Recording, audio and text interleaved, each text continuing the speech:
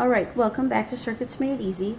This time, using the exact same materials plus a brad, we are going to make a switch.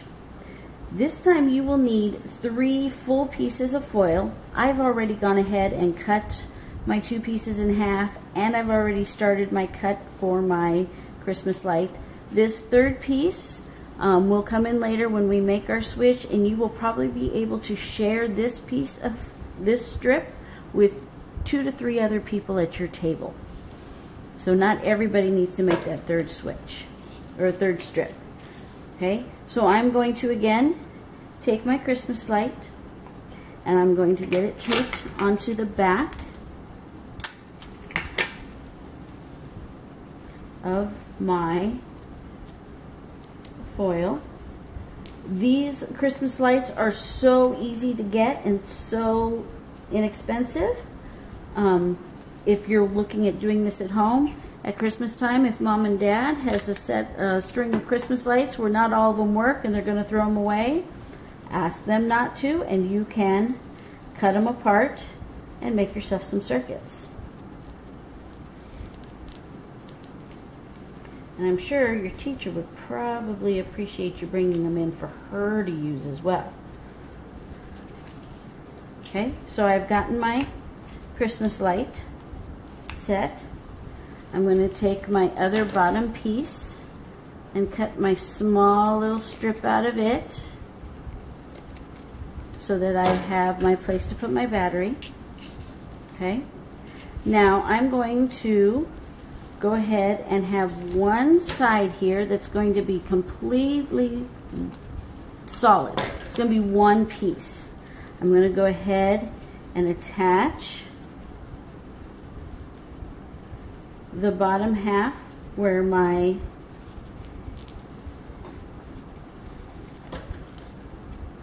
um, battery will go.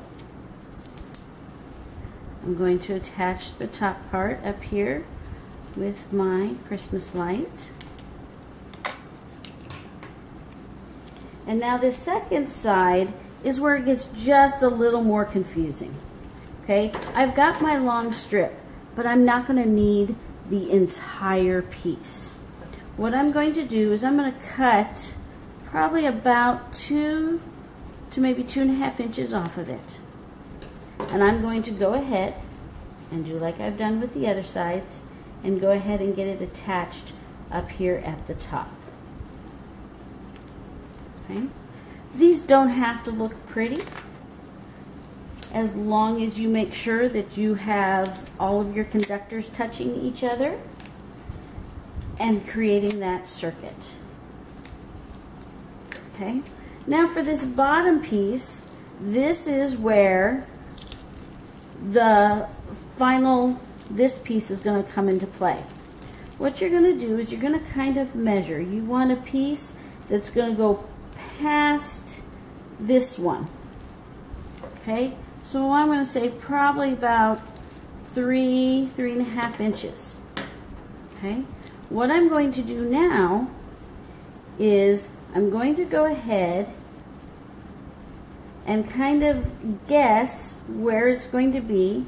I'm going to take my brad and my brad is going to have to go right here in the corner through this piece here and through this piece. So a lot of times it's easier. You go ahead and make a mark.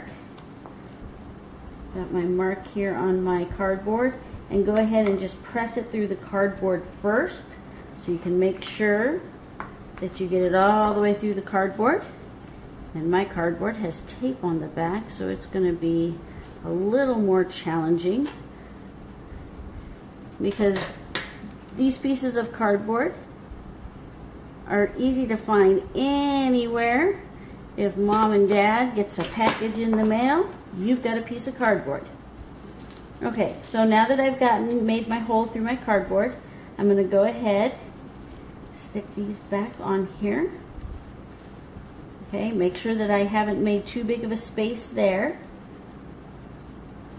I'm going to make sure and I line it up and find my hole so that I'm not fighting to get it through again. And I'm going to make sure, oh, it's right there. Oh, I'm right there on top of it. Not sure what's happening here. Just doesn't want to have to go through. I know I got it through. Let's just open that up just a little more. And with science, we all know sometimes we have to work just a little harder to get the things to work and work properly. Okay, there we go. I have finally gotten it all the way through. So go ahead and put it through. Make sure you open up your brad, but don't put it where it's too tight because like we said, this is going to be a switch. So with a switch, this is going to need to be able to turn. Okay, so I'm not going to be taping this one down. Okay, I will put a little bit of tape up here at the top on this one, on the little piece that is for my Christmas light, or I'm sorry, for my battery, because I want that to stay in place. Okay, so now we are going to test our circuit. You can either have the switch on the top. I like putting it on the bottom because then I can guarantee that my conductors are touching. Okay, and we're going to test it out. Okay, to make sure that we made a complete circuit. We made a complete circuit. Now, the switch comes into play because all I have to do is take and move this switch and oops, I now do not have a complete circuit. If I move it back, oh, there's my light again. So this shows us, this is just like your light in your room. You have a switch that the conductors will touch, and then when you go to turn it off, it disconnects those conductors so that your light will go off in the classroom. And that is how you use you make a switch.